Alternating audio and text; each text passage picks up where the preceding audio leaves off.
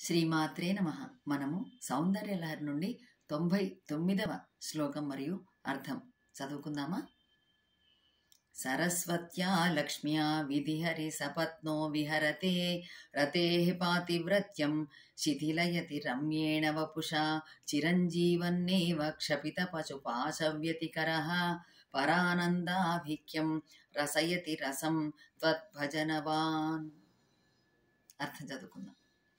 అమ్మా పార్వతి నిన్ను సేవించేవాడు సరస్వతి లక్ష్మి సమేతులకు బ్రహ్మ విష్ణువులకు శత్రువు అవుతూ ఉన్నాడు. సుందరాంగి అయిన రతి పాతివ్రత్యాన్ని సైతం భంగపరచేవాడవుతూ ఉన్నాడు. చిరకాలం జీవించియు అవిద్యం సైతం భంగపరచేవాడవుతూ ఉన్నాడు.